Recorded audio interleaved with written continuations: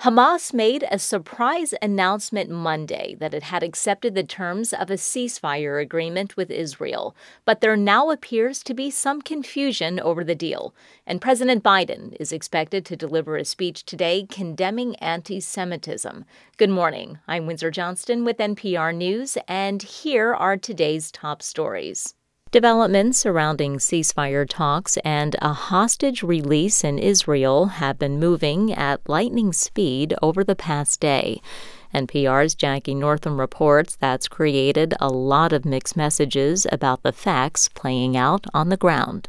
Given the sky high stakes involved in the Gaza conflict, it's not unusual that Israel, Hamas, the U.S., and others are not showing their hands. That's created dueling narratives as developments unfold. For example, Hamas made a surprise announcement Monday that it would accept a ceasefire agreement. What prompted that depends on who you ask. Was it an impending Israeli military operation against Hamas in Rafah, or was the militant group simply throwing the negotiating ball back in Israel's court? Israel says it will continue negotiating, but at the same time launch airstrikes in eastern Rafah.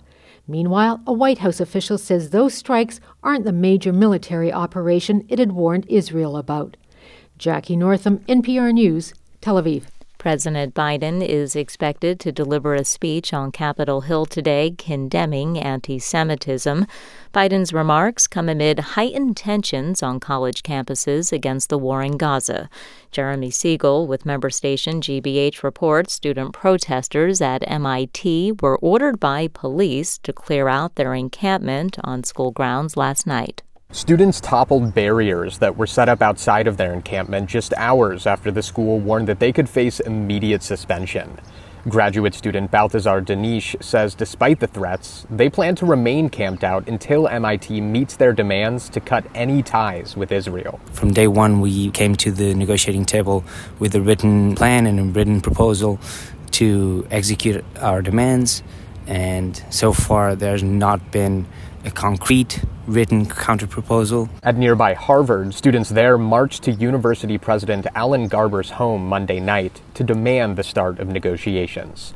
For NPR News, I'm Jeremy Siegel in Cambridge. Republican Congresswoman Marjorie Taylor Greene says she plans to hold additional talks today with House Speaker Mike Johnson. Greene was asked by reporters on Monday if she's still planning to move ahead with a vote to oust the Speaker. So I just had a long discussion with the Speaker in his office um, about ways uh, to move forward for a Republican controlled House of Representatives.